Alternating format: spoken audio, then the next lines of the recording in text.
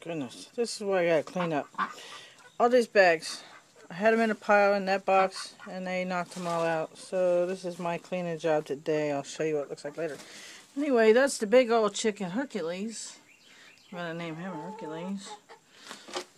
And his two girls, Xena and Gabrielle.